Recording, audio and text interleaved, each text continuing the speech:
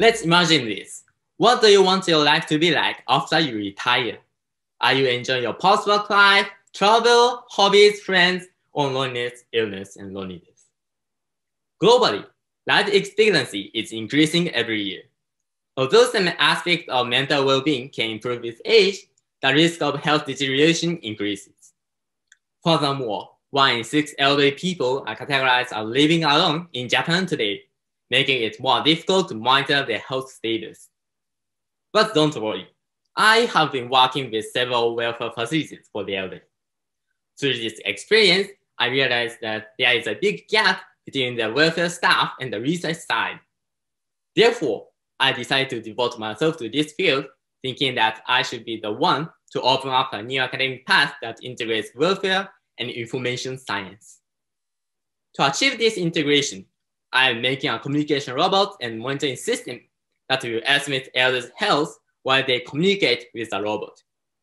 In the field of elderly welfare, quality of life is a useful index that comprehensively reflects not only an individual physical well-being, but also their mental and social well-being.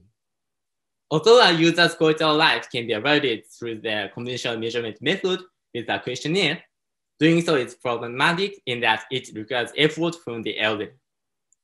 Therefore, I constructed a system in which a communication bot scores a user's quality of life state by extracting features from all the information obtained during the conversation, such as visual, sound, and speech information. This has already reached the level of practical application.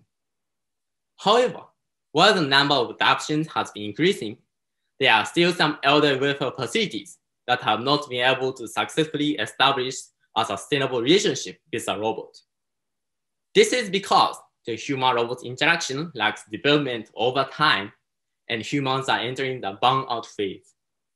As a solution, I am improving the technology to create a continuous, more natural relationship between elders and robot by letting the robot generate personalized behaviors for each elder based on their estimated quality of life.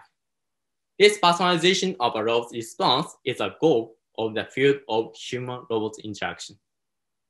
We believe that the construction of a human-machine interface based on multidimensional quality of life estimation can realize a long-term relationship and also can be a solution to various problems that have lingered in the development of ICT in elderly welfare. I promise that I will make full use of intelligence robots to help you have a better life after retirement. Thank you.